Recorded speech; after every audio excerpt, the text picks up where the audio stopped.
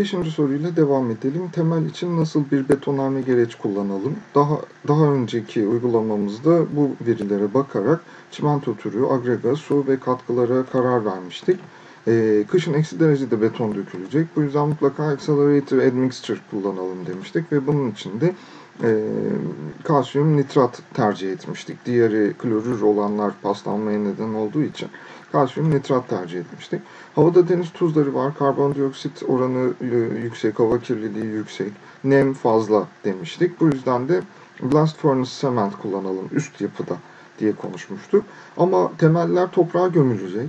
Havadaki deniz tuzu temeli etkilemeyebilir. Havadaki hava kirliliği, nem temeli etkilemeyebilir. Bu nedenle e, blast furnace cement yerine normal Portland çimentosunu tercih edebiliriz temellerde.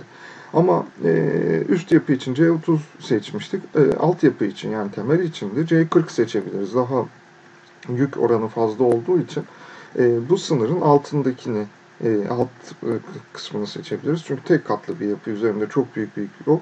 Bir kez daha tekrar ediyorum. Bu bir uygulamadır. E, hatalar olabilir içerisinde.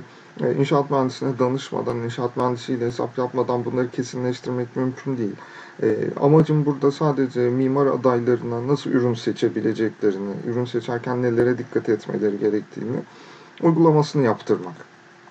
O zaman e, beşinci sorunun cevabını şu şekilde verebiliriz. Burada gördüğümüz tüm temel bileşenleri, sömeller, kolonlar, zemin kotundaki kirişler ve bağ kirişler için %10 oranında Portland çimentosu, e, çimentosu, %75 oranında kırma taş ve kumdan oluşan agrega, %15 oranında su, %1 oranında accelerated admixture, soğuk zamanda döküleceği için kalsiyum nitrat ve C40 beton yapalım.